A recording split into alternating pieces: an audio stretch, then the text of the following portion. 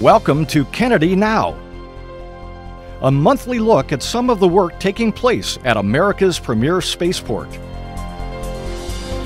Kennedy focused anew on Mars exploration in August with the arrival of MAVEN, a spacecraft designed to orbit Earth's nearest planetary neighbor and sample the upper atmosphere of the intriguing red planet. Powered by two solar array wings, MAVEN will use its sensors to detect signs of the ancient Martian atmosphere and tell researchers what happened to the planet that left it such a dry, barren place.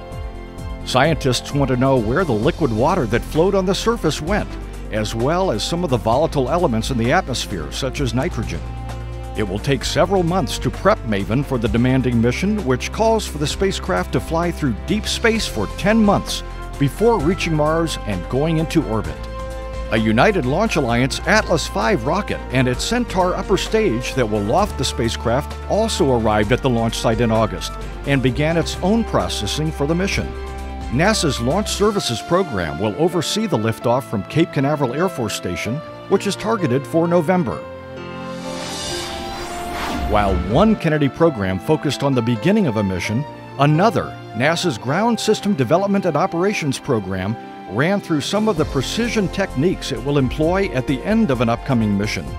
Navy divers working from the USS Arlington, a well deck ship docked at the Norfolk Naval Base in Virginia, rehearsed the recovery of an Orion spacecraft from the water using the same routine they will use following a mission.